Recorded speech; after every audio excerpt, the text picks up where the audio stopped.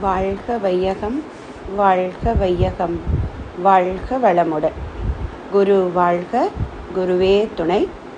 அனைவருக்கும் எனது பணிவான வணக்கங்கள்.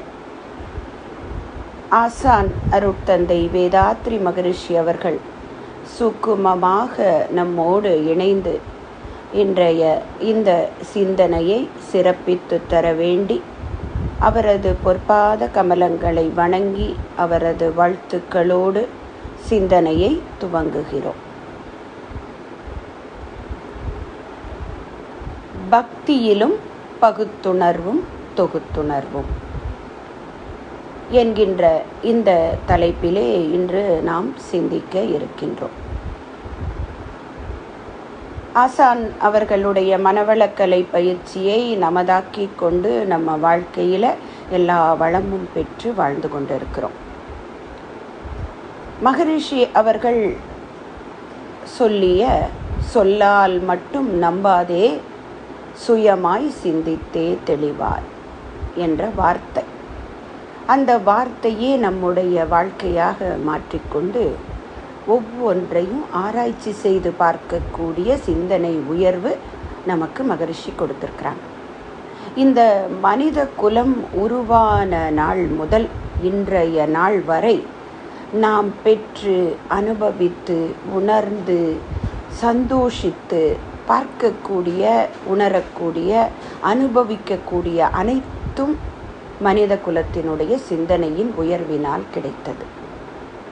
அப்போது ஒவ்வொரு மனித குலம் வளர்ந்த பரிணாமத்தில் தன்மாற்றத்தில் ஒவ்வொரு காலகட்டத்திலையும் மனிதனுடைய சிந்தனை உயர்ந்தது. அதற்கு ஏற்ப மனிதனுக்குள்ளே இருக்கக்கூடிய இறைத்தன்மை உணர்த்தியது. மனிதன் நிம்மதியாக வாழ வேண்டும் என்றால் இறையுணர்வும் அறநெறியும் இருந்தால் மட்டுமே முடியும். அப்போது அந்த இறையுணர்வையும் அறநெறியும் கொடுப்பதற்காக ஏற்பட்டவை தான் பல வேதங்களும் உபனிஷத்துக்களும் புராணங்களும் இதிகாசங்களும் மத நூல்களும் மத கோட்பாடுகளும் சமயங்களும் அனைத்தும். இப்போ அந்த வகையிலே மகரிஷி ரொம்ப அழகாக நமக்கு சொல்லுவாங்க மனித அறிவின் உயர்வு படிகள் எது அப்படின்னு சொல்லி சொல்லும்போது முதல்ல சொல்கிறது நம்பிக்கை அப்புறம் விளக்கம் அப்புறம் முழுமை பேருன்னு சொல்லுவாங்க. அப்போது இந்த நம்பிக்கை என்கின்ற வார்த்தைக்கு பொருள் பார்க்கின்ற போது மகரிஷி கூறுகின்ற விஷயம் குழந்தையாக மனிதன் இருக்கின்ற காலத்தில் ஒரு பதினான்கு பதினைந்து வயது வரை சிந்தனையில் உயர்வு வருகின்ற காலம் வரை அந்த மனிதனை நல்வழிப்படுத்துவதற்கான விஷயங்கள் அனைத்துமே முன்னோர்களிடமிருந்தும் பெற்றோர்களிடமிருந்தும். சமுதாயத்திலிருந்தும் அந்த மனிதனுக்கு புகட்டப்படுகிறது. அப்போது அந்த நம்பிக்கையிலிருந்து அவன் விளக்கம் பெறுகிறான். அந்த விளக்கம் பெறுகின்ற போது பழக்கத்திலிருந்து விளக்கத்திற்கு மாறுகிறான். அப்புறம் முழுமை பேறு நோக்கிய பயணம். இதுதான் மகரிஷி கொடுத்துருக்கக்கூடிய வழிமுறை. இப்போ இன்னைக்கு நம்ம வந்து ஆராய்ச்சிக்கு எடுத்துக்கொண்டிருக்கிறது என்னென்னா நம்பிக்கை வழி அப்படிங்கும்போது மகரிஷி குறிப்பால் சொல்கிறது பக்தி யோகம்.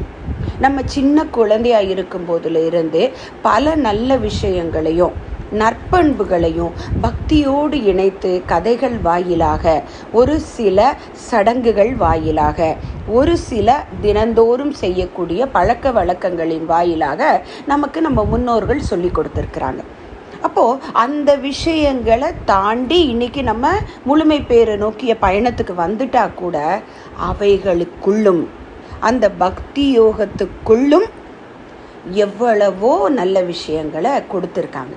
அப்போ அந்த பக்தி யோகத்தில் இருக்கக்கூடிய விஷயங்களை ஆராய்ச்சி செய்து பார்க்கின்ற பொழுதுதான் மகரிஷியினுடைய பெருமை நமக்கு உணர்கிறது. சூட்சுமமாக அவர்கள் சொன்ன விஷயங்களை எல்லாம் எடுத்து எளிமைப்படுத்தி சாதாரண மனிதனும் புரிந்து கொள்ளக்கூடிய விதத்தில் கொடுத்திருக்கக்கூடிய பெருமை நமது குருபிரானையே சாரும். அப்படி இந்த உலகத்தில் தோன்றிய சமயங்களை எல்லாம் தோன்றிய வகையை பற்றி விளக்கி அது தத்துவத்தோடு இணைச்சு நமக்கு கொடுத்துருக்காங்க. ஆறு சமயங்களாக நம்ம வழிபாட்டு முறையில் சொல்லியிருக்கிறாங்க. சைவம் சாக்தம் வைணவம் சௌரம் கானபத்தியம் கௌமாரம் என்று சொல்லக்கூடிய ஆறு சமயங்களாக.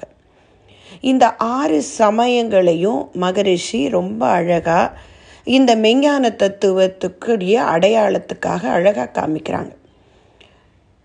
சைவம் என்று சொல்ல பொழுது சிவம் என்று சொல்லக்கூடிய இறைவனை வணங்கக்கூடிய ஒரு சமயமாக சைவ சமயம் என்று சொல்லப்படுகிறது.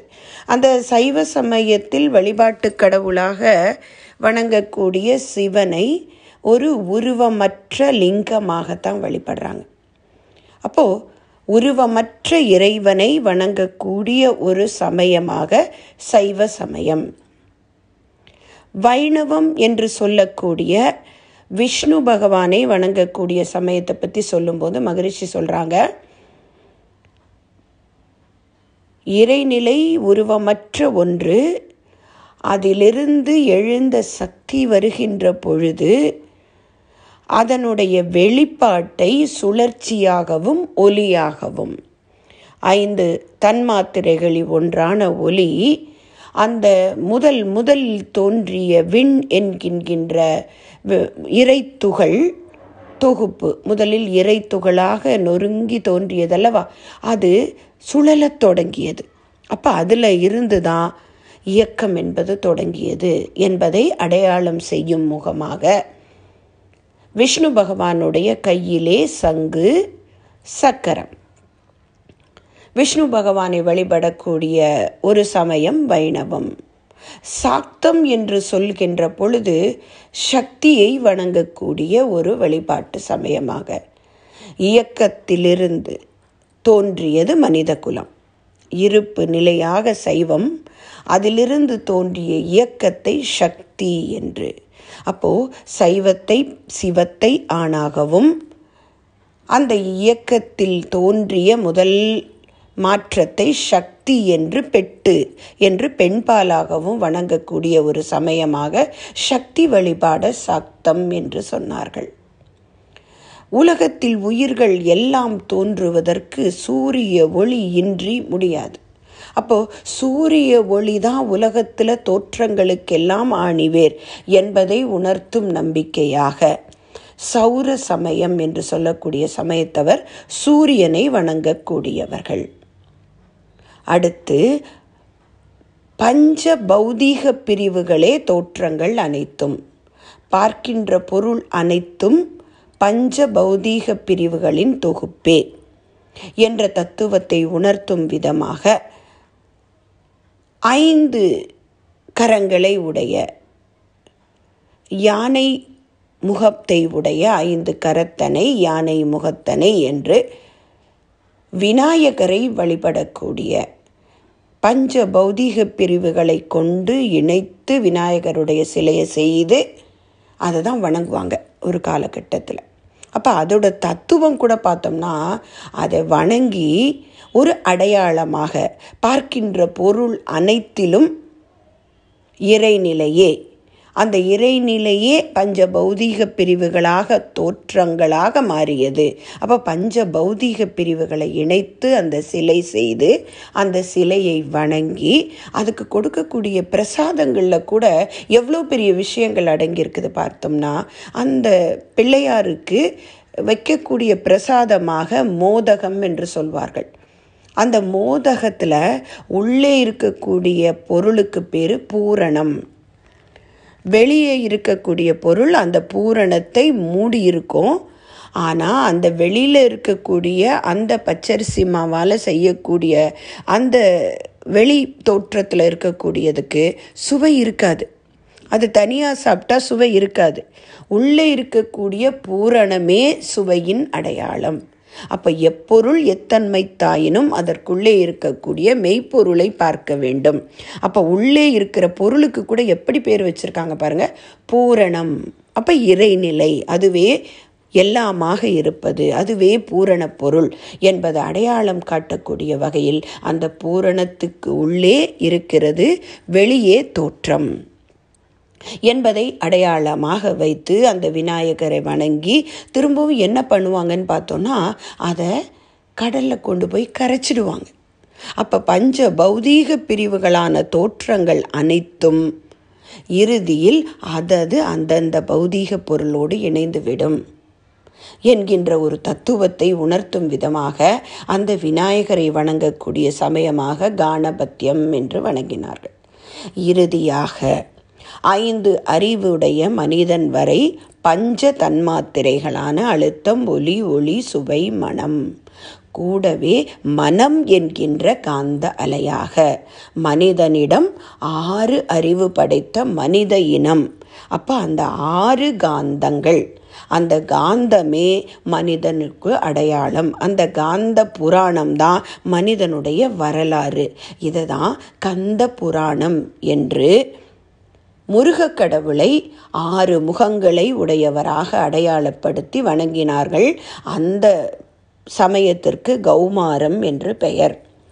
அப்போ அந்த முருகனை பற்றி பாடும்போது கூட அருணகிரிநாதர் சொல்கிறார் ஏறு மயில் ஏறி விளையாடும் முகம் ஒன்று ஈசனுடன் ஞான மொழி பேசும் முகம் ஒன்று கூறும் அடியார்கள் வினை தீர்த்த முகம் ஒன்று குண்டுருவ வேல் வாங்கி நின்ற முகம் ஒன்று மாறுபடு சூரரை வதைத்த முகம் ஒன்று வள்ளியை மனம் புணர வந்த முகம் ஒன்று ஆறு முகமான பொருள் நீ அருளல் வேண்டும். ஆதி அருணாசலம் அடர்ந்த பெருமானே என்று வணங்குவார்.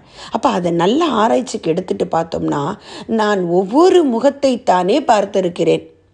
மயிலேறி விளையாடும் போது ஒரு முகத்தை. அப்போ ஒவ்வொரு இயக்கத்திலும் ஓர் அறிவை இரண்டறிவை மூன்றறிவை நான்கறிவை ஐந்து அறிவை தானே பார்த்தேன். இந்த ஆறும் இணைந்திருக்கக்கூடிய இந்த மனித குலத்தின் அறிவை எனக்கு காட்டு இறைவா. அதை உணர்ந்து கொள்ளக்கூடிய சிந்தனையின் உயர்வை எனக்கு கொடு. ஆறு முகம் ஆன பொருள் நீ அருளல் வேண்டும். எனக்கு என்னுடைய சிந்தனைக்கு உணர்த்து என்று அந்த பிரம்ம ஞானத்தை வேண்டி நிற்கக்கூடிய பாடலாக இந்த பாடல் கொடுக்கப்பட்டிருக்கிறது. அப்போ எவ்வளவு விஷயம் பாருங்க. பகுத்துணர்வு இல்லையா இதில்? தொகுத்துணர்வு இல்லையா இதில்? அப்போ ஒவ்வொரு பொருளிலும் பகுத்து பகுத்து பார்க்கும் பொழுது உள்ளே இருக்கக்கூடிய இறைநிலையை உணர்த்துகிறது நம்பிக்கை வழி. தொகுத்து தொகுத்து பார்க்கின்ற போது இந்த இறைநிலையே தன்மாற்றத்தினால் ஒவ்வொன்றாக மாறி மாறி மனிதனாக வந்த கதையையும் சொல்கிறது. அப்போ இந்த நம்பிக்கை வழியில் அனைத்தும் இணைத்து கொடுக்கப்பட்டிருக்கிறது. ஆனால் அதை இன்று வேதாத்ரி மகரிஷி வந்த பிறகுதான் ஆராய்ச்சி செய்து நம்மால் உணர்ந்து கொள்ள முடிந்தது. அப்போ அந்த வகையிலே ஒவ்வொரு கடவுளை வணங்கக்கூடிய வழிபாட்டு பாடல்களும் அத்தனை மெஞ்ஞானத்தையும் உள்ளே வைத்திருக்கிறது. ஆனால் நம்ம இவ்வளவு நாள் நம்பிக்கை வழியில் இருக்கும்போது நமக்கு என்ன சொல்லி கொடுத்தாங்க? இந்த மந்திரங்களை எல்லாம் சொல்லுங்க. சொன்னால் நல்லது நடக்கும். ஆனால் அந்த அர்த்தங்களை புரிந்து சொல்லக்கூடிய தன்மையை நமக்கு சொல்லி கொடுக்கவில்லை. எல்லாமே இன்ஃபர்மேஷனாக மட்டும் கேட்டுக்கிட்டோம். உணர்தல் அடுத்தது உறுதிப்படுத்தக்கூடிய வழியை வேதாத்ரி மகிழ்ச்சி தான் இன்னைக்கு கொடுத்துருக்காங்க. அப்போது தான் நாம் அதுவாக ஆக முடியும். இன்ஃபர்மேஷனை கன்ஃபர்மேஷன் பண்ணினா தான் அது நாம மாறக்கூடிய டிரான்ஸ்ஃபர்மேஷன் என்பது சித்திக்கும். அப்போ ஒரு உதாரணம் எடுத்து பார்ப்போம். மந்திரங்கள் எல்லாமே அனைத்தும் சக்திகளின் கோர்வைகள். அப்போ மந்திரங்களை பற்றி தொல்காப்பியம் என்ன சொல்லுதுன்னா ஒவ்வொருவரும் எழுதக்கூடிய மந்திரம் என்பது நிறைமொழி மாந்தர் ஆணையின் விளைந்த சொல் என்று சொல்கின்றார்கள். அப்போ ஒவ்வொருவரும் இறைநிலையை உணர்ந்தவர்கள் தான் உணர்ந்தவற்றை மக்களுக்கு எடுத்துரைக்கக்கூடிய சொற்களால் சேர்ந்தது தான் மந்திரம். அப்போ மந்திரங்கள் அனைத்துமே ஆழ்ந்த பொருளுடையவை. அப்போ அந்த பொருளை ஆராய்ச்சி செய்யக்கூடிய பக்குவம் இன்னைக்கு நமக்கு அருட்தந்தை கொடுத்ததுனால எல்லா மந்திரங்களையும் நம்ம ஆராய்ச்சி பண்ணி பார்க்கலாம்.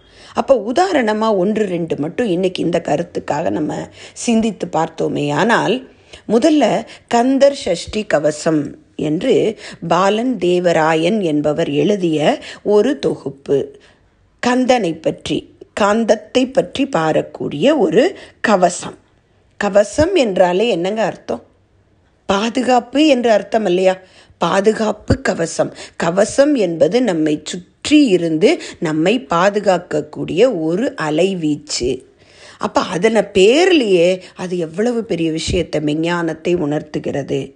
அப்போது அதில் இருக்கக்கூடிய விஷயங்கள் அனைத்துமே பார்த்திங்கன்னா இறை உணர்வை உணர்த்தக்கூடிய விஷயமாக நம்மை நம்முடைய உடலை நம்முடைய உயிரை நம்முடைய மனதை பாதுகாக்கக்கூடிய விஷயங்களாக இருக்கின்றது.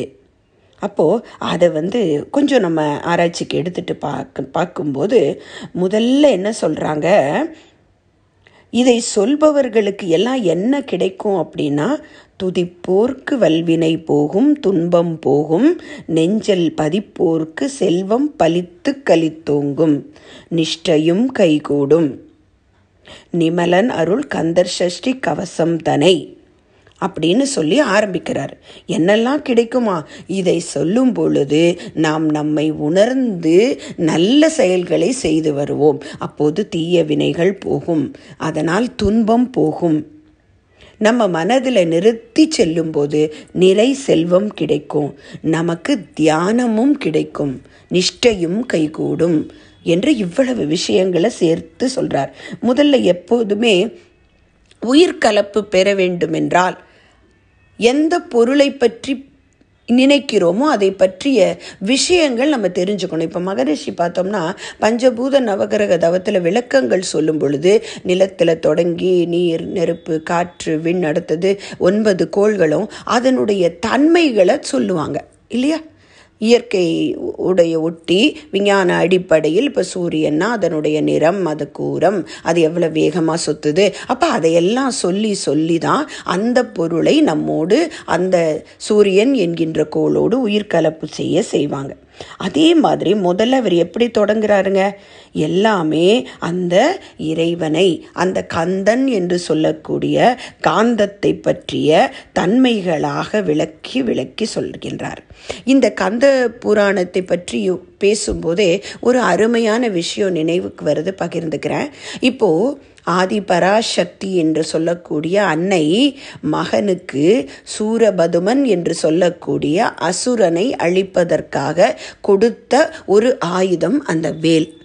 அந்த வேலுடைய முருகன் அப்படின்னு சொல்லுவாங்க. அப்போது அந்த வேலை பற்றி இது உள் ஒரு தத்துவம் பார்க்கின்ற பொழுது அதுவும் அறிவினுடைய தத்துவத்தை உணர்த்துவது தானா வேல் என்பது அது ஒரு அடையாளம் அறிவினுடைய அடையாள சின்னமா. அதை நாம் எப்படி எடுத்துக்கிறோம்? இன்னொரு உயிரை கொல்லக்கூடிய ஒரு சாதனமாக பார்த்து விட்டோம். ஆனால் உண்மையில் அது ஒரு மனிதனுடைய அறிவு எப்படி இருக்க வேண்டும் என்பதை உணர்த்தக்கூடிய ஒரு அடையாளமா.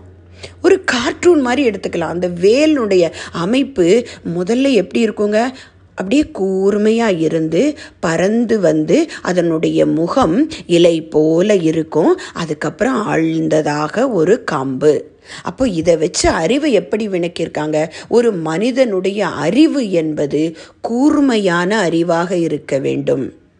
நுண்மான் நுழைபுலன் அப்படிங்கிறதுக்கு அடையாளமாக அந்த பர்ஸ்பிகாசிட்டின்னு சுவாமிஜி சொல்கிறாங்களே அந்த வகையில் அறிவு இருக்க வேண்டும். அப்போ அதை தான் கூர்ந்த அறிவுன்னு சொல்கிறாங்க அடுத்தது அந்த வேலனுடைய முகம் அப்படி விரிஞ்சிருக்கும் இல்லைங்களா? அப்போ அந்த விரிஞ்சு இருக்கக்கூடியது பரந்த மனப்பான்மை பரந்த அறிவு பெருந்தகைமை மெக்னானிமிட்டின்னு சொல்கிறோம் அப்போ எல்லாவற்றையும் ஆள் பரந்த மனநிலையோடு பார்க்கக்கூடிய ஒரு அறிவு. அடுத்தது அந்த வேலினுடைய பிடித்திருக்கக்கூடிய பிடி அது எவ்வளவு நீளமாக இருக்கும். பார்த்துருக்கோம் இல்லைங்களா? அப்போ அது எதை உணர்த்துகிறதா? அறிவு ஆழமாக நல்லா ஆழமாக சென்றாதான் அதனுடைய முடிவை தெரிந்து கொள்ள முடியும். அதற்கு அடையாளமாக நம்முடைய முன்னோர்கள் அறிவுக்கு வரைந்த காற்றுன்னு கூட சொல்லலாம். அப்போ இந்த வேலை கையில் உடையவர் தான் கந்தன். அப்போ அறிவை அறிவை கொண்டு இந்த உடலிலே இருக்கக்கூடிய உயிர் அதனுடைய படற்கை நிலை மனம் அந்த மனமே ஆறாவது காந்தமாக இருக்கிறது என்பதை உணரக்கூடிய அறிவுக்கு அடையாளமாக அந்த வேலினுடைய தன்மை அமைந்திருக்கின்றது. அப்போ அதெல்லாம் சொல்லிட்டு வந்துட்டு அடுத்தது உடலை பற்றிய ஞானத்தை கொடுக்குறாரு. அந்த அது அது வரும்போதே பார்த்தீங்கன்னா எல்லாமே சயின்டிஃபிக்காகவும் இருக்குது. இந்த உடம்பு நல்லா இருக்கணும்னா அந்த வார்த்தைகள் உச்சரிக்கக்கூடிய வார்த்தைகளினுடைய தொகுப்பு உடலுக்கு நல்ல ஆற்றலை கொடுக்கின்ற வகையில் அமைந்திருக்கிறது அதில் வரும் பாருங்க இருதொடை அழகும் இணை முணர்ந்தாலும் திருவடி அதனில் சிலம்பொலி முழங்க செககன செககன செககன செகன முக முக முக முக முக முக முகென நக நக நக நக நக நக நகென டிகு குண டிகு குண டிகு குண டிகுண ரர ரர ரர ரர ரர ரர என்று திரும்ப திரும்ப திரும்ப திரும்ப இந்த வார்த்தை வார்த்தைகளுடைய தொகுப்பு இருக்கும். இது வந்து ஒரு டங் ட்விஸ்டராக நம்ம நாக்குக்கான ஒரு பிறளக்கூடிய நல்ல ஒரு வார்த்தை தொகுப்பாகவும் இருக்குது ரெண்டாவது நம்மளுடைய நுரையீரலில் காற்றினுடைய அளவை கூட்டக்கூடிய தன்மை நம்மளுடைய மூச்சு காற்று உள்ளே இழுத்து வெளியே விடுறதுல நம்மளோட லங் கெப்பாசிட்டின்னு சொல்லுவாங்க. அது அதிகமாக இருந்தால் தான் மூச்சு பொறுமையாக நல்லா வரும். அப்போது நுரையீரலில் நிறைய காற்று வாங்கினா தான் இந்த வரிகளை நல்லா மூச்சு விடாமல் பாட முடியும். அப்போ எவ்வளவு ஆராய்ச்சி பாருங்களேன். அதை சொல்லும் பொழுது நுரையீரலுக்கு நல்ல காற்று சென்று ஒரு மூச்சு பயிற்சியாக இது அமைந்திருக்கிறது. அடுத்தது தான் இந்த மூச்சு தானே உயிருக்கு ஆக்கம். அப்போ மூச்சை முதல்ல சரி பண்ண பிறகு அவர் ஆட்டோ சஜஷன் ஆரம்பிக்கிறார். நம்ம எப்படி மகரிஷி நமக்கு ரிலாக்ஸேஷன் கொடுக்குறாங்க? ரிலாக்ஸேஷனில் எப்படி கொடுக்குறாங்க நமக்கு? ஒவ்வொரு பொருள் ஒவ்வொரு உறுப்பையும் மனதால் நினைத்து நினைத்து அந்த பொருளுக்கு ஆற்றலை கொடுத்து மனம் என்கின்ற ஜீவகாந்த அலையை கொண்டு உடலுக்குள்ளே செலுத்தி அங்கே உள்ள தி- ஜீவகாந்த குறைபாடுகளை நீக்கி ஆரோக்கியம் பெறுகின்றோம். அதையே தான் ஒரு பாடல் வரிவில் கந்தர் சஷ்டி கவசம் செய்கிறது. அடியேன் வதனம் அழகுவேல் காக்க. பொடிபுனை நெற்றியை புனிதவேல் காக்க. கதிர்வேல் இரண்டு கண்ணினை காக்க. விதி செவி இரண்டும் வேலவர் காக்க. என்று தொடங்கி அப்படியே உச்சந்தலை முதல் உள்ளங்கால் வரை. எவ்வளவு அழகாக கொண்டு போறார் பாருங்க. கடைசியில நாக்கில் சொல்லும்போது கூட நாவில் சரஸ்வதி நற்றுணையாக. நாபிக் கமலம் நல்வேல் காக்க முப்பால் நாடியை முனைவேல் காக்க எப்பொழுதும் என எதிர்வேல் காக்க. அடுத்தது இதில் எல்லாம் நான் எல்லாவற்றையும் சொல்லலை நீங்கள் எல்லாருமே அதை கேட்டிருப்பீங்க. அப்போது என்றைக்காவது இதை சொல்லும்போது அந்த உறுப்பை நினைத்து பார்த்திருக்கின்றோமா என்றால் இல்லை. கைகள் இரண்டும் கருணை வேல் காக்க முன்கை இரண்டும் முரண்வேல் காக்க பின்கை இரண்டும் பின்னவள் இருக்க என்று அப்படியே ஒரு மனதுக்கு தொடர்பில்லாத வார்த்தைகளாக சொல்லி சொல்லி வந்திருக்கிறோம். அப்போது அதை உக்காந்து அமைதியாக ரிலாக்ஸேஷன் மாதிரி நமக்கு கொடுக்கக்கூடிய ஒரு ஆணை போல என் கண்கள் இரண்டையும் கதிர்வேல் காக்க என்போது கண்ணுங்களை மனசு வச்சு முன்கை இரண்டும் முரண்வேல் காக்க என்போது கைகளில் மனம் வைத்து இந்த மாதிரி செஞ்சிருந்தோம்னா அதுவும் ரிலாக்ஸேஷன் தானே. எவ்வளவு அருமையாக இருந்திருக்கும். அப்போது கடைசியில் சொல்கிறாரு அருட்காப்பு மாதிரி வந்துடுறாரு. இதெல்லாம் சொல்லி முடிச்சிட்டு அடியேன் வதனம் மசைவுள நேரம் கடுகவே வந்து கனகவேல் காக்க. என்னுடைய முழு வதனத்தையும் காக்க. எப்பெல்லாம் காக்க? வரும் பகல் தன்னில் வஜ்ரவேல் காக்க. அரை இருள் தன்னில் அணையவேல் காக்க ஏமத்தில் சாமத்தில் எதிர்வேல் காக்க தாமதம் நீக்கிச் சதுர்வேல் காக்க. இரவும் பகலும் எல்லா நேரங்களிலும் எல்லா இடங்களிலும் எல்லா தொழில்களிலும் என்று மகரிஷி சொல்லக்கூடிய அருட்காப்ப இவர் சொல்லிட்டார். எவ்வளவு அழகு பார்த்தீங்களா வரும் பகல் தன்னில் வஜ்ரவேல் காக்க அரை இருள் தன்னில் அணையவேல் காக்க ஏமத்தில் சாமத்தில் எதிர்வேல் காக்க. எல்லா காலங்களிலும் என்னை இறைநிலை காக்கட்டும் என்கின்ற ஒரு வகையில் வார்த்தைகளை திரும்ப திரும்ப கோர்த்தெடுத்து அழகாக கொடுத்துருக்கார். அதுக்கப்புறம் நமக்குள்ளே இருக்கக்கூடிய களங்கங்கள் உடலை சரி பண்ணிட்டோம். ஆனால் அது மட்டும் போராது இல்லைங்களா? உள்ளே எவ்வளவு களங்கங்கள் இருக்கிறது? அந்த களங்கங்களை பல்வாறாக பெயரிட்டு அழைக்கிறார். அல்லல் படுத்தும் அடங்கா முனியும் பிள்ளைகள் தின்னும் புலக்கடை முனியும் கொள்ளிவாய் பேய்களும் குரலை பேய்களும் பெண்களைத் தொடரும் பிரம்மராட்சசரும். அப்ப இந்த மாதிரி தவறுகள் அனைத்தும் என்னை பார்த்ததும் அலறி கலங்கி ஓட வேண்டும். அப்படின்னா என்ன அர்த்தங்க? நான் இந்த களங்கங்கள் இல்லாமல் தூய்மையாக வாழ வேண்டும். அப்படின்னு எல்லாம் சொல்கிறாரு எனக்கு செருக்கு இருக்கக்கூடாது ஒட்டிய செருக்கும் ஒட்டிய பாவையும் காசும் பணமும் காவுடன் சோறும் ஓது மஞ்சனமும் ஒரு வழி போக்கும். அடியனை கண்டால் அலறி குலைந்திடும் எனக்கு செருக்கு என்று சொல்லக்கூடிய தன்முனைப்பு வரக்கூடாது. எல்லாவற்றிலும் அளவோடும் முறையோடும் இருக்கணும். காசும் பணமும் காவுடன் சோறும். உணவிலிருந்து செல்வத்திலிருந்து அளவோடும் முறையோடும் நான் அனுபவிக்க வேண்டும். அப்போ இந்த மாதிரி அமைதியான மனநிலையில் எனக்கு நிஷ்டையை போல இது கிடைச்சதுன்னா என்னெல்லாம் கிடைக்கும்னு சொல்றாரு? மாற்றான் வஞ்சகர் வந்து வணங்கிட. மகிழ்ச்சி சொல்றதானே இன்னல் புரிவோர் எதிரிகளாக நினைப்போர் எவரேனும் இருப்பின் அவர்களும் மனம் திருந்தி நல்வாழ்வு பெற வேண்டும். அதுபோல மாற்றான் வஞ்சகர் வந்து வணங்கிட காலதூதாளனை கண்டார் கணங்கிட. அப்போ என்னிடம் வரக்கூடிய எல்லாரும் நல்லவர்களாக இருக்கட்டும். அப்போ அடுத்தது நோய்வாய்ப்படுகிறோம். இல்லைங்களா? உள்ளே இருக்கக்கூடிய கெட்ட குணங்களை தள்ளிடுறோம். இருந்தாலும் கருவமைப்பின் வழியாக எனக்கு நோயின் மூலமாக இந்த உடலுக்கு துன்பங்கள் வரலாம். அப்போ அதெல்லாம் லிஸ்ட் போட்டுடுறாருங்க தேளும் பாம்பும் செய்யான் பூரான் கடிவிட விஷயங்கள் கடித்து உயர் அங்கம். ஏறிய விஷங்கள் எளிதுடன் இறங்க ஒளிப்புஞ்சுழுக்கும் ஒருதலை நோயும். வாதம் சைத்தியம் வலிப்பு பித்தம் சூலை சயங்குன்மம் சிரங்கு குடைச்சல். இப்படி இல்லாத வியாதிகள் அத்தனையும் நம்முடைய உடலில் என்னென்ன வியாதிகள் வருமோ அத்தனையும் சொல்லிட்டு எல்லா பிணியும் என்றனை கண்டால் நில்லாது ஓட நீ எனக்கு அருள்வாய்.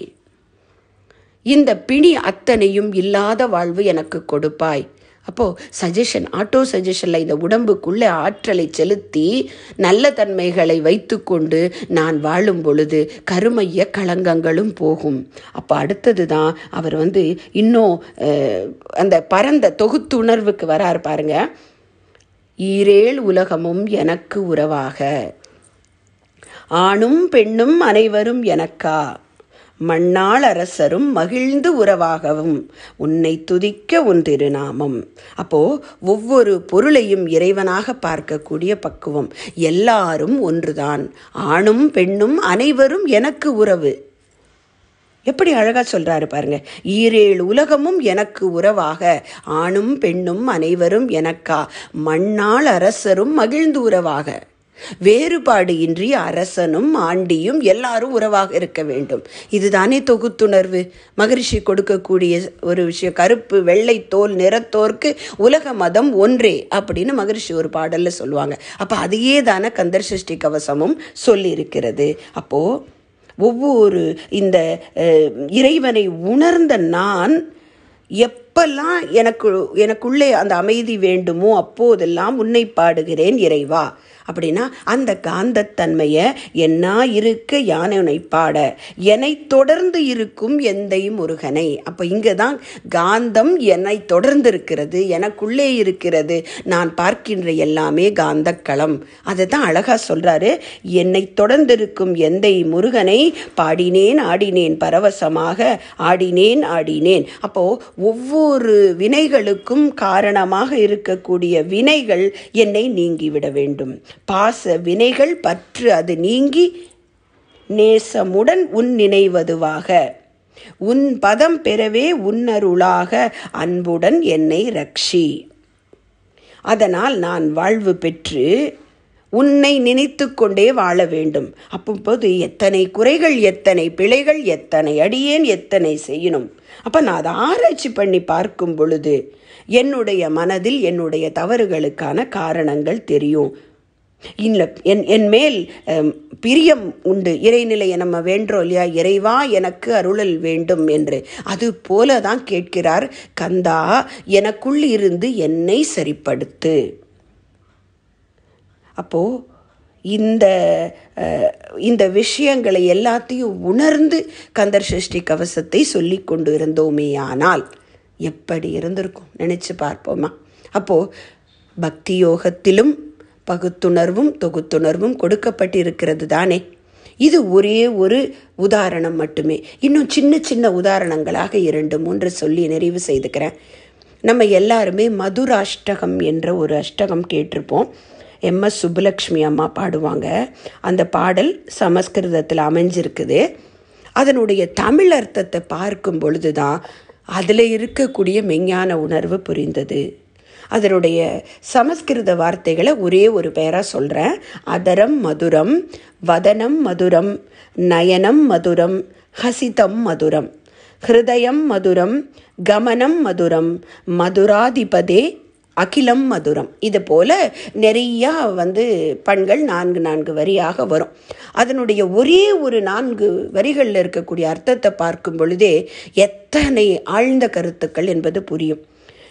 இதழும் இனிதே முகமும் இனிதே கண்கள் இனிதே சிரிப்பும் இனிதே இதயம் இனிதே நடையும் இனிதே மதுரை மைந்தா எல்லாம் இனிதே.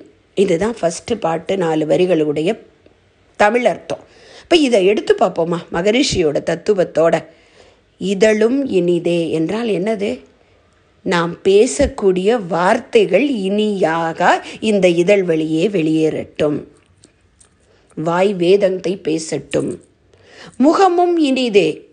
காந்த தத் தன்மை ஒளிர ஒளிய அகத்தின் அழகு முகத்தில் தெரியும். இல்லைங்களா? மகரிஷியும் சொல்லுவாங்க இல்லையா? காந்த நல்ல தவம் பண்ண பண்ண பண்ண என்ன கிடைக்கும் நமக்கு? முகவசியம் ஜெகவசியம் கிடைக்கும். அப்போ முகமும் இனிதாக இருக்கும். கண்கள் கருணையை பொழியும். கண்கள் இனிதே. சிரிப்பு எப்படி இருக்குங்கிறாங்க. மகரிஷியும் சொல்லுவாங்க. அந்த சிரிப்பு ஹசிதம்னு சொல்லும் பொழுது உள்ளே இருக்கக்கூடிய சந்தோஷந்தான் புன்னகையாக மலர்ந்து வெளித்தெரியும். அப்போ சந்தோஷத்தோடு வெளிப்படுகின்ற அந்த புன்னகை அந்த சிரிப்பு அந்த மலர்ச்சி இனிது. இதயம் இனிதே. உள்ளே இருக்கக்கூடிய ஆழ்ந்த கருத்துக்கள் இனிதே. என்னுடைய நடை இனிதே.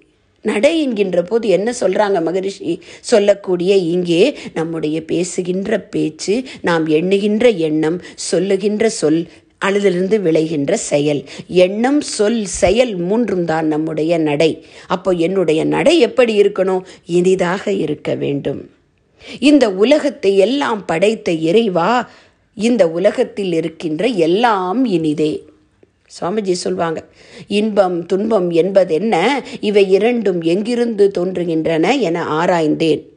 அனுபோகத்திற்கு இன்பமே இயற்கையிலே எங்கும் என்றும் நிறைந்துள்ளது.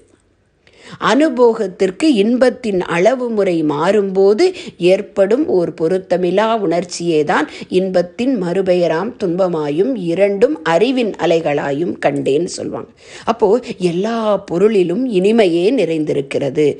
அகிலம் முழுவதும் இனிமையே.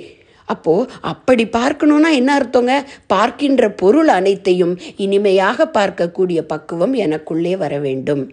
அப்போ இந்த அர்த்தத்தோடு தானே அந்த அஷ்டகமே அமைக்கப்பட்டு இருக்கலாம் அப்போ ஒவ்வொரு நாளும் எப்படி மகரிஷி சொல்கிறாங்க இரண்டொழுக்க பண்பாடு நாம் சொல்லி சொல்லி நமக்குள்ளே பதித்து பதித்து நாம் அதுவாக மாற வேண்டும்.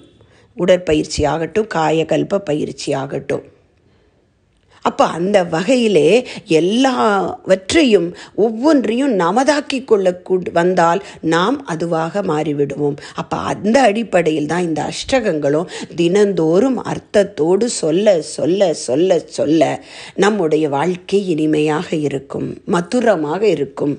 எவ்வளவு நல்ல விஷயம் இல்லைங்களா? ஆனால் நம்ம அப்படி சொல்லியிருக்கிறோமா அப்படின்னா இல்லை. அப்போது ஒவ்வொன்றையும் ஆராய்ச்சி செய்து பார்த்தோமானால் இது போல மிகப்பெரிய விஷயங்கள் அடங்கி இருக்கின்றது. தூயோமாய் வந்து தூமலர் தூவி தொழுது வாயினால் பாடி மனத்தினால் சிந்திக்க போய பிழையும் புகுதருவான் நின்றனமும் தீயினில் தூசாகும் செப்பேலோர் எம்பாவாய் என்பார் ஆண்டாள். திருப்பாவையிலே சொல்லுவார். அப்போ அதில் என்ன சொல்கிறாங்க ஒவ்வொரு நிமிடமும் தூய தூயோமாய் வந்து நாங்கள் தூயவர்களாக ஆகி இறைவா இறைநிலையே உன்னுடைய பாதம் பணிந்து உம்மையே நினைத்து வாயினால் பாடி மனதினால் சிந்திக்க. ஒவ்வொரு சொல்லும் இறைநிலையின் சொல்லாக ஒவ்வொரு பொருளும் இறைநிலையின் பிம்பமாக பார்த்தால் என்ன நடக்கும்? தூயோமாய் வந்து தூமலர் தூவி தூழுது வாயினால் பாடி மனதினால் சிந்திக்க போய பிழையும் புகுதருவான் நின்றனவும். பழ வினையும் புகு வினையும் எப்படி போகுமா? தீயினில் தூசாகும் செப்பேலோர் எம்பாவாய் நான் நடிச்சு சொல்கிறேன் அப்படிங்கிறாங்க அந்த அம்மா. அப்போ எவ்வளவு நல்ல விஷயங்களை உள்ளே குணங்களுக்காக ஒவ்வொன்று சொல்லுவாங்க. வையத்து வாழ்வீர்கள் நாமும் நம் பாவைக்கு செய்யும் கிரிசைகள் கேளீரோ? பார்க்கடலுள் பைய துயிலும் பரமனடி பாடி நெய்யுண்ணோம் பாலுண்ணோம் நாட்காலே நீராடி மையிட்டு எழுதோம் மலரிட்டு யாமுடியோம் செய்யாதன செய்யோம் தீக்குறலை சென்று ஊதோம் ஐயமும் பிச்சையும் மாந்தனையும் கைகாட்டி உய்யுமாறெண்ணி உகந்தேலோர் எம்பாவா என்பார். அதனுடைய அர்த்தம் எப்படி பாருங்களேன்? இறைவனை நினைத்து உன்னை வணங்கி இறைவா நெய்யுண்ணோம் பால் உண்ணோம்னா நெய்யும் பாலையும் சொல்லலைங்க. மறைமுகமாக உணவையும் அளவும் முறையோடு செய்வோம். நாட்காலே நீராடி மையிட்டெழுதோம் மலரிட்டு யாம் முடியும். இந்த இடத்துல என்னுடைய வெளித்தோற்றத்தை அழகுபடுத்தி கொண்டு அதன் மூலமாக என்னை உலகுக்கு வெளிப்படுத்தி கொள்ள மாட்டேன். உள்ளே இருக்கக்கூடிய அறிவை உயர்த்தி கொள்வேன். அடுத்தது சொல்கிறாங்க குணநலப் பேர் நெய்யுண்ணோம் பாலுண்ணோம் நாட்காலே நீராடி மையிட்டெழுதோம் மலரிட்டு யாமுடியோம் செய்யாதன செய்யோம். எவ்வளவு அருமையான வார்த்தை. இந்த உலகத்தில் டூஸ்னு கொஞ்சம் இருக்குது டோன்ட்ஸ்னு கொஞ்சம் இருக்குது எல்லாருக்கும் பொதுவாக. அந்த மாதிரி செய்யக்கூடியாத செய்யக்கூடாத விஷயங்களை செய்ய மாட்டேன். தீக்குறலை சென்று ஓதேன். கோல் சொல்ல மாட்டேன் புறம் கூற மாட்டேன் பொய் பேச மாட்டேன். இது அத்தனையும் இதுக்குள்ளே இருக்குது அப்போ இது எப்படி நல்வழிப்படுத்துதல் தானே? அந்த அம்மா சொன்னதுங்க. அப்போ ஒவ்வொரு விஷயமும் இதே மாதிரி தான் இறுதியாக பார்த்தோமே ஆனால் வெள்ளிக்கிழமையான லக்ஷ்மி அஷ்டகம் என்று ஒன்று படிக்க சொல்வார்கள். நமஸ்தேஸ்து மகாமாயே ஸ்ரீபீட்டே சுரபூஜிதே என்று தொடங்கக்கூடிய பாடல். அப்போது ஒவ்வொரு ஸ்லோகங்களுக்கும் இறுதியில் பலஸ்ருதி என்று ஒன்று சொல்வார்கள். அந்த பலஸ்ருதி என்ன செய்யும்னா அது ஒரு டிஸ்க்ளைமர் மாதிரி. அதாவது இந்த மேலே சொல்லப்பட்ட மந்திரங்களை நீங்கள் சொல்வதனால் இந்த நன்மைகள் கிடைக்கும். அதில் கடைசியில் வரக்கூடிய மூன்று வரிகள் ஏக காலம் படே நித்தியம் மகா பாப விநாசனம். த்விகாலம் படே நித்தியம் தனதானிய சமன்விதக. திரிகாலம் படே நித்தியம் மகா சத்ரு விநாசனம். என்று ஒரு மூன்று வரி வரும். அதை கொஞ்சம் ஆராய்ச்சிக்கு எடுத்துக்கொண்டு பார்த்தபோது கிடைத்த ஒரு சிந்தனை இந்த லக்ஷ்மி அஷ்டகம் சொல்லும்போதெல்லாம் நாக்கு நிறையா முறை மேலெண்ணத்தை தொட்டு செல்லும். அந்த வார்த்தைகள் அந்த ஒலி அமைப்புக்கு என்று ஒரு சில ஆற்றல் இருக்கிறது. அப்போ அந்த ஆற்றல் எனக்கு கிடைக்க கிடைக்க என்ன கிடைக்கும்? ஒரு தடவை இதை படித்தேன்னா ஏக காலம் படே நித்தியம். ஒரு முறை சொன்னால் என்ன கிடைக்குமா? மகா பாப்ப விநாசனம். என்னுடைய பாவங்களிலிருந்து நான் விடுபடுவேன். இரண்டாவது த்விகாலம் படே நித்தியம். இரண்டு முறை படித்தால் எனக்குள்ளே சக்தி பெருகி நான் நல்லா உழைப்பேன். அதனால் நல்ல பலன் கிடைக்கும். கிடைக்கும். நிறை செல்வம். அப்போ தன தானியங்கள் எனக்கு சரியாக தேவையான அளவு கிடைக்கும். த்விகாலம் படே நித்தியம் தன தானிய சமன்விதக. மூன்றாவதாக சொல்லப்படுகிறது திரிகாலம் படே நித்தியம் மகா சத்ரு விநாசனம் இந்த இடத்த தான் நான் கொஞ்சம் எடுத்துக்கிட்டு ஆராய்ச்சி பண்ணும்போது தோன்றியது. இறைவனை பற்றி பாடக்கூடிய ஒரு விஷயத்தில் இன்னொருவரை சத்ரு என்று சொல்லியிருக்க மாட்டார்கள். அந்த சத்ரு நாசமடையட்டும் என்று கண்டிப்பாக சொல்லி இருக்க மாட்டார்கள். அப்போ ஏனென்றால் இந்த வார்த்தைகள் நிறைநிலை அடைந்தவர்கள் மனித குலம் வாழ்வதற்காக எழுதப்பட்ட மந்திரங்கள். அப்போ அதற்குள்ள எதிர்மறை வாக்கியங்கள் இருக்க வாய்ப்பில்லை. அப்போ இது எதை சொல்லியிருப்பாங்க? மூன்று முறை சொன்னால் நமக்குள்ளே இருக்கின்றதே சத்ருக்களாக ஆறு குணங்கள். அந்த ஆறு குணங்களும் நாசமடையும் என்று சொல்லியிருக்கலாம். பேராஸ் காம குரோத லோப மோக மதம் ஆச்சரியம் என்று சொல்லக்கூடிய அறு குணங்களும் நம்மை விட்டு விலகும். அதை தான் திரிகாலம் படே நித்தியம் மகா சத்ரு விநாசனம் என்று கூறினார்களோ என்று தோன்றியது எனக்கு. அப்போது இன்னும் நிறைய ஆராய்ச்சி பண்ணி பார்க்கின்ற பொழுது ஒவ்வொரு பக்தி மார்க்கத்தில் உள்ள கதைகளும் மந்திரங்களும் சொல்லப்பட்ட இதிகாசங்களும் புராணங்களும் உள்ளுக்குள்ளே சூட்சுமமாக சித்தாந்தத்தையும் வேதாந்தத்தையும் அத்வைதத்தையும் துவைதத்தையும் மனிதன் வாழும் முறைமையும் இறை உணர்வையும் அறநெறியையும் அடக்கி வைத்துள்ளது என்பது கொஞ்சம் ஆராய்ச்சி பண்ணும்போது உணர்ந்தது. ஆனால் இவை அத்தனையும் நமக்குள்ளே வெளிப்படுவதற்கு காரணமாக இருந்த குருநாதருக்கே இவை அத்தனையும் சென்று சேரும். அவருடைய இந்த பயிற்சி கிடைக்கவில்லை என்றால் இந்த மனம் இந்த அளவுக்கு ஆராய்ச்சியில் இறங்கி இருக்குமா இல்லை. அதை இன்னும் திரும்ப திரும்ப வார்த்தைகளாக மட்டுமே சொல்லிக்கொண்டு வாழ்க்கை முடியும் வரை வாழ்ந்து சென்றிருப்போம். ஆனால் இன்று ஆராய்ச்சிக்கு எடுத்துக்கொள்ளக்கூடிய மனம் எண்ணத்திலிருந்து சிந்தனைக்கு தாவிவிட்டது. எண்ணம் என்பது எந்த மன அலைச்சுழலும் எழுவது. சிந்தனை என்பது அமைதியான அந்த தவ நிலையில் இருக்கக்கூடிய குறைவுபட்ட மனநிலையில் மட்டுமே எழுவது. அப்போ மன அலைச்சுழல் குறைந்து இருப்பது தான் நமக்கு வெற்றி. Eight is always greater then forty என்பது மகரிஷியினால் நம்ம கண்டு கொண்ட விளம்பை.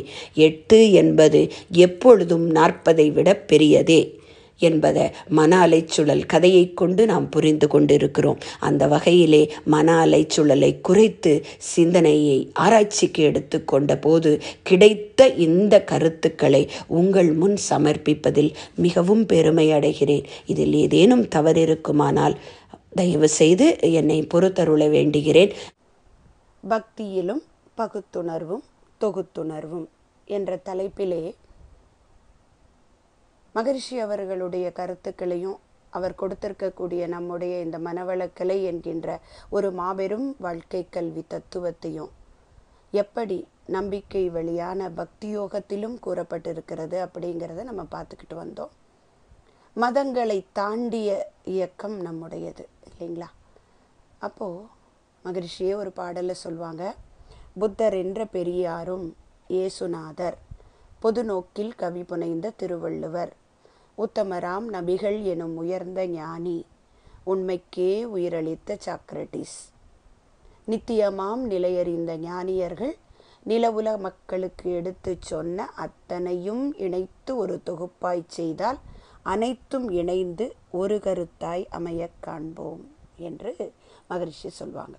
அப்போது எல்லா அறிவிற்சிறந்த மதத்தை வடிவமைத்த முன்னோர்கள் ஞானிகள் சொன்ன அனைத்துமே கோர்த்து பார்க்கும்போது ஒரே கருத்தை தான் சொல்லுதுன்னு மகரிஷி சொல்கிறாங்க அப்போது ஒவ்வொரு மதத்திற்கும் உணவு உடை வணக்க முறை தான் வேறுபாடு. உணவு உடை வணக்க முறை தள்ளி பார்க்க ஒன்றாகும் கருத்து பல மதங்களிலும்.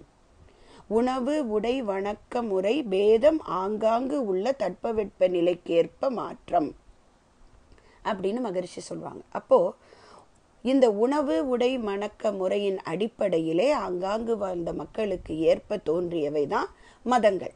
அப்போ நம்ம இதுவரைக்கும் இந்து மதத்தினுடைய தத்துவத்தை பார்த்து கொண்டே வந்தோம். அதே போல இன்று வரை நன்மையை உத்தேசித்து இறை உணர்வும் அறநெறியும் மனித குலத்திற்கு கிடைக்க வேண்டும் என்கின்ற ஒரு நல்ல சிந்தனையோடு தோன்றிய மதங்களில் கிறித்துவமும் ஒன்று இஸ்லாமும் ஒன்று. அப்போது அந்த மதங்களில் கொடுக்கப்பட்டிருக்கக்கூடிய கருத்துக்களும் வேதாத்திரிய கருத்துக்களுக்கு சமமானவை தான் ஏன்னா மதங்களின் நோக்கம் இறை உணர்வும் அறநெறியும் மட்டுமே. இப்போ நம்ம கிறித்துவத்தை எடுத்துக்கொள்ளும்போது இயேசுபிரான் சொன்ன அத்தனை கருத்துக்களையும் மனித குலத்திற்கு ஏற்ற வகையில் அழகாக வடிவமைத்து கொடுத்த ஒரு தெய்வீக பெட்டகம் தான் அவர்கள். நம்ம இன்றைக்கும் நம்ம அதை பற்றி பேசக்கூடிய பைபிள். அதே போல் இஸ்லாம் மதத்தினுடைய ஒரு முக்கியமான நூலாக கருதப்படுவது குரான் என்று சொல்லக்கூடிய ஒரு பொக்கிஷம். அப்போது இவைகளிலெல்லாம் கூறப்பட்டுள்ள கருத்துக்களை கொஞ்சம் கொஞ்சம் ஆராய்ச்சிக்கு எடுத்துக்கிட்டு பார்க்கும் பொழுது அனைத்தும் கூறுவது இறை உணர்வும் அறநெறியுமே. இப்போ சாதாரணமாக நம்ம வந்து தெருவில் போகும் பொழுது ஒரு சர்ச்சை கடந்து போகிறோன்னு வச்சுக்கலாங்க. அங்கே எழுதியிருக்கக்கூடிய வாசகங்களே பார்த்தீங்கன்னா நம்ம வேதாத்திரிய கருத்துக்கு சமமாக இருக்கும். மகரிஷி என்ன சொல்கிறாங்க எல்லாம் இறை துகள்களே பார்க்கின்ற பொருள் அனைத்தும் இறைநிலையின் ரூபங்களே. இல்லைங்களா? அதையே தான் இந்து மதம் என்ன சொல்லுது? அவனன்றி ஓரணவும் அசையாது. அதையே தான் கிறிஸ்துவம் சொல்கிறது. நானே வழியும் சக்தியும் ஜீவனுமாயிருக்கின்றேன். என் சமூகம் உனக்கு முன்பாக செல்லும். அப்ப இவையெல்லாம் எல்லாமாக இறைவனே இருக்கின்றான் என்கின்ற உண்மை.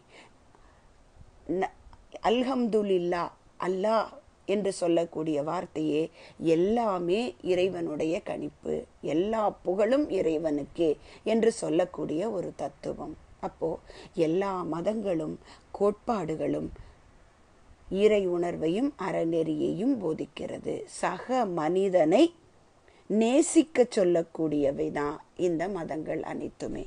எல்லா மதங்களிலும் கூறப்பட்ட கருத்துக்களை ஆராய்ச்சி செய்து பார்க்கின்ற போது அவை எதுவுமே தனிப்பட்ட ஒரு இனமாக கொடுக்கப்படவில்லை. சக மனிதர்கள் யாராயிருந்தாலும் அவர்களை நேசியுங்கள். அவர்களுக்கு அன்பை கொடுங்கள். மலைப்பொழிவுன்னு ரொம்ப முக்கியமாக சொல்லுவாங்க கிறித்துவ மதத்தில். மலை பிரசங்கம் என்று சொல்லி இயேசு வழங்கிய முக்கியமான போதைகள் போதனைகளில் ஒன்று மலைப்பொழிவு. அதில் ரொம்ப அழகாக அவர் சொல்கிறாரு எல்லா மனிதரையும் நாம் அன்பு செய்ய வேண்டும். குறிப்பாக நம் எதிரிகளையும் வெறுக்காமல் அவர்களை மன்னித்து ஏற்க வேண்டும். இந்த வாசகம் மலை பிரசங்கத்தில் இயேசுபிரான் கொடுத்த இந்த வாசகம் மகாத்மா காந்தி அவர்களும் குறிப்பிட்டுள்ளார். இந்த வாசகம் எனக்குள்ளே பெரிய தாக்கத்தை ஏற்படுத்தியது. அவர் மக்கள் கூட்டத்தை பார்த்து சொல்கின்றார் ஏழையரின் உள்ளத்தோர் பேறு பெற்றோர் ஏனெனில் விண்ணரசு அவர்களுக்கு உரியது. துயருருவோர் பேறு பெற்றோர் ஏனெனில் அவர்கள் ஆறுதல் பெறுவர். கனிவுடையோர் பேறு பெற்றோர் ஏனெனில் அவர்கள் ஆறுதல் பெறுவர். ஏனெனில் அவர்கள் நாட்டை உரிமை சொத்தாக்கிக் கொள்ளுவர் நீதி நிலைநாட்டும் வேட்கை கொண்டோர் பேறு பெற்றோர் ஏனெனில் அவர்கள் நிறைவு பெறுபவர். இரக்கமுடையோர் பேறு பெற்றோர். ஏனெனில் அவர்கள் இரக்கம் பெறுபவர். அடுத்து சொல்றாரு தூய்மையான உள்ளத்தோர் பேறு பெற்றோர். ஏனெனில் அவர்கள் கடவுளை காண்பர். அமைதி ஏற்படுத்துவோர் பேறு பெற்றோர். ஏனெனில் அவர்கள் கடவுளின் மக்கள் என அழைக்கப்படுவோர். எவ்வளவு பெரிய விஷயத்தை சொல்லியிருக்காரு பாருங்களேன். இல்லையா? கடவுளின் மக்கள் அமைதி கொடுக்கக்கூடியவர்கள் அனைவரும் கடவுளின் மக்கள் என அழைக்கப்படுவர். தூய்மையான உள்ளம் கொண்டவர்கள் எல்லாம் கடவுளை காண்பார்கள். அப்போ நானே அந்த கடவுளின் பிம்பம் என்பதை உணர்ந்தவர்களால் தானே மற்ற ஒரு உயிரிடமும் கடவுளை பார்க்க முடியும். அப்போ இஸ்லாம் சொல்லுகிறது இல்லைங்களா? வருத்தப்பட்டு பாரம் சுமப்பவர்களே என்னிடம் வாருங்கள் இளைப்பாறுதல் தருகிறேன். எவ்வளவு பெரிய ஆறுதல் வார்த்தை இது. இது இயேசுபிரான் மனிதனை பார்த்து சொல்வதாக இருந்தாலும் அது உள்ளுணர்வாக ஒவ்வொரு மனிதரும் பிறருடைய துன்பத்தை காணும் பொழுது தான் அந்த துன்பத்தை தீர்க்கக்கூடிய தாங்கியாக இருக்க வேண்டும் என்ற உணர்வு அவருக்குள்ளே வர வேண்டும் என மகரிஷி சொல்லுவாங்க பிற உயிரின் உணர்வு கூர்ந்து உணர்ந்து ஒத்துதவும் பேராற்றல் கொண்ட உயிரினமே மனிதன் எனும் உயர் தோற்றம் அப்படின்னு சொல்லுவாங்க. அப்போது எந்த அளவுக்கு மகரிஷினுடைய கருத்துக்களை இஸ்லாம் மதமும் கிறித்துவ மதமும் வலியுறுத்தி சொல்லியிருக்கிறது. அப்போ மதங்களின் கருத்தில் பேதம் இல்லை. உணவு உடை வணக்க முறையில் மாற்றம் அது கூட தட்பவெட்ப சூழ்நிலையினாலே. அப்போ உணவு உடை வணக்க முறை தள்ளி பார்க்க ஒன்றாகும் கருத்து பல மதங்களிலும் என்கின்ற மகரிஷியினுடைய வார்த்தை இங்கே உறுதியாகிவிட்டது. இஸ்லாம் மதத்தை எடுத்துக்கொண்டோம்னா பார்த்தீங்கன்னா அந்த மதத்தினுடைய கோட்பாடுகள் அனைத்துமே சக மனிதனை நேசிக்கக்கூடிய தன்மைகளை கொடுக்கிறது. அவர்களுடைய வாழ்க்கை முறையில் அந்த நோன்பு ஒவ்வொரு தன்மையும் பிறருக்கு உதவக்கூடிய ஈகை நோன்பிருத்தல் அந்த கட்டுப்பாடு அந்த வைராகியம் இறை சிந்தனை அந்த நாற்பத்தி எட்டு நாட்களும் உமிழ்நீரை கூட உள்ளே கொண்டு செல்லாமல் ஐந்து வேளையும் இறை சிந்தனையோடு இருந்து கொடுக்கக்கூடிய அவர்களுடைய வணக்க முறையும் அவர்கள் பின்பற்றக்கூடிய அந்த சம்பிரதாயங்களும் அத்தனையுமே இறைநிலையை உணர்த்தக்கூடியவை. இன்னும் சொல்ல அவர்களுடைய வணக்க முறை ஒரு முழுமையான உடற்பயிற்சி போன்றதான். ஒரு ஆசனம் போன்றது. அவர்கள் அந்த குனிஞ்சு அந்த அந்த தொழுகை நிலைக்கான இருக்கை நிலை பார்த்தோம்னா இரண்டு கைகள் நெற்றி முழங்கால்கள் பாதங்கள் தலை என்று எட்டு இடங்கள் தரையோடு தரையாக இருக்குமா? அது வந்து அவ்வளவு சிறப்பை கொடுக்குமா இந்த உடலுக்கு? அவ்வளவு நல்ல ஆற்றலை கொடுக்கக்கூடிய இருக்கை நிலை என்று சொல்கின்றார்கள். அப்போ அந்த வா அந்த வணக்க முறை கூட உடலுக்கு நன்மையை கொடுக்கிறது. அதே போல முகம்மது நபி அவர்கள் கொடுத்த உரையும் அவர்கள் கொடுத்த வாக்கியங்களும் அனைத்துமே பார்த்தோம்னா அன்பும் கருணையும் தான் போதிக்குது. ரொம்ப ரொம்ப வந்து மகரிஷியினுடைய கருத்தை இன்னும் ஆழ்ந்து கொண்டு போகக்கூடியதாக ஒரு பார்த்த ஒரு குரானுடைய வாசனம் வசனம் ஒன்று. மகரிஷி சொல்கிறதே தான். பிற உயிர் கஷ்டப்படும் போது அந்த உணர்வு நம்ம பாதிக்கணும். அந்த துன்பத்திலிருந்து அந்த ஜீவன் விடுவிப்பதற்கு நம்மாலானதை செய்யணும். அதுதானே இரண்டொழுக்க பண்பாடு. முகமது நபி சொல்கிறார் உனக்கு பக்கத்தில் ஒருவன் பசித்திருக்கும் போது நீ அளவுக்கு அதிகமாக சாப்பிடக்கூடிய ஒரு பிடி உணவு கூட பாவமாக போகும். இது சொல்லக்கூடிய சிந்தனையை ஆழ்ந்து கருத்து பார்த்தா என்ன அர்த்தங்க? நம்மளுடைய வாழ்க்கையில அளவு முறை அதிகப்பட்டு இருக்கக்கூடிய பொருள் அனைத்தையும் பிறருக்கு கொடுத்து உதவ வேண்டும். துன்பப்படுபவர்களுக்கு கொடுத்து உதவ வேண்டும் என்ற கருத்து தானே அதுக்குள்ளே ரொம்ப தொக்கி நிற்கிறது. அந்த வகையிலே அவருடைய இறுதி உரையை இன்னைக்கு நம்ம கோட்டுக்கு எடுத்துக்கிட்டு பார்க்கும்போது பார்த்தீங்கன்னா அவர் சொல்கிறார் பிறப்பால் உயர்வு தாழ்வு காட்டாதீர்கள். மக்களே உங்களது இறைவன் ஒருவனே. அறிந்து கொள்ளுங்கள். அரபி அல்லாதவரை விடவோ அரபி அல்லாதவர்களுக்கோ யாரையும் விட யாருக்கும் மேன்மையும் சிறப்பும் இல்லை. எல்லோரும் இறைக்கு அச்சம் கொண்டு வாழக்கூடியவர்கள் அனைவருமே சிறந்தவர்கள். இதுதானே தொகுத்துணர்வு. எல்லாருடைய உள்ளமும் இறையின் பிம்பமே. அப்போ இந்த மதத்தை தாண்டி எல்லாருமே ஒன்று என்று பாருங்கள் என்பதை கூறுறாரு மேலும் பார்த்தா அந்த இறைவனுக்கு பயப்படுங்கள் இறையினுடைய நீதியை ஒத்து வாழுங்கள் என்று சொல்கிறார். மேலும் சொல்றாரு நீங்கள் அனைவரும் சகோதரர்கள். அதனால் உங்களுடைய பணியாளர்கள் விஷயத்தில் பொறுப்புணர்வுடன் நடந்து கொள்ளுங்கள். அவர்களை நன்றாக பராமரியுங்கள். நீங்கள் உண்பதையே அவர்களுக்கும் உண்ணக் கொடுங்கள். நீங்கள் உடுத்துவதையே அவருக்கும் உடுத்தச் செய்யுங்கள் என்று சொல்கின்றார். இது எவ்வளவு பெரிய ஒரு சோசியலிசமான ஒரு உண்மை. இல்லைங்களா? நமக்கு உதவி செய்பவர்களையும் மதிக்கக்கூடிய ஒரு பாங்கை கொடுக்கிறாரு. மேலும் ரொம்ப முக்கியமா இஸ்லாம்ல பார்க்கக்கூடியது கணவன் மனைவி உறவுக்கு வந்து ரொம்ப ரொம்ப புனிதப்படுத்துதல் கொடுக்கப்பட்டிருக்கிறது. ஒவ்வொருவரும் மனைவியை கணவனும் கணவரை மனைவியும் மதித்து வாழ வேண்டும். அப்போ எல்லாருமே வந்து வாழ்க்கையில இல்லற வாழ்க்கை என்பது ரொம்ப ரொம்ப முக்கியமான விஷயம். அதனால பெண்கள் விஷயத்தில் கடவுளுக்கு அஞ்சிக்கொள்ளுங்கள் அவர்களுக்கு நன்மையே நாடுங்கள். அவர்களை நீங்கள் பார்த்து கொள்ளுங்கள் அவர்கள் மூலமாகத்தான் நீங்கள் பிறந்திருக்கிறீர்கள். எப்படி உங்கள் மனைவியர் மீது உங்களுக்கு உரிமைகள் இருக்கின்றதோ அதே போல உங்கள் மனைவியருக்கும் உங்கள் மீது உரிமை இருக்கின்றது. அந்த அளவுக்கு அவர்களை மதித்து அவர்களுக்கு அவர்களை காப்பாற்றுங்கள். அவர்களுக்கு நன்மையே நாடுங்கள். அல்லாஹ் அல்லாவின் பெயரை முன்மொழிந்தே நீங்கள் அவர்களுடன் மனவாழ்க்கை மேற்கொண்டுள்ளீர்கள் என்று சொல்லி அந்த முழுமையான அவருடைய உரையில இறுதியாக சொல்றாரு. சிந்தித்து பாருங்கள் எனது பேச்சை கவனமாக கேட்டுக்கொள்ளுங்கள் என்னுடைய பிரசாரத்தை உங்களுக்கு எடுத்துச் சொல்லிவிட்டேன். அந்த இறை தூதரின் வழிமுறையையும் உங்களுக்கு விட்டுச் செல்கிறேன். அதை பின்பற்றினால் ஒருபோதும் வழிகெட மாட்டீர்கள் எவ்வளவு பெரிய விஷயத்த கொடுத்து இறைவனையே வணங்குங்கள். இறைவனுக்கு பயப்படுங்கள்னா இறை நீதியை ஒத்துக்கொள்ளுங்கள் என்ற அர்த்தம். ஐந்து வேளை தொழுகையை ஒழுங்காக செய்யுங்கள். அப்படின்னு கொடுத்திருக்கக்கூடிய தன்மைகளை சரியாக கொடுத்திருக்கிறார். அதோட இந்த பாவப்பதிவுகளை பற்றி ரொம்ப அழகாக சொல்கிறார் ஒருவர் குற்றம் செய்தால் அவருக்கான தண்டனை அவருக்கே கொடுக்கப்படும்.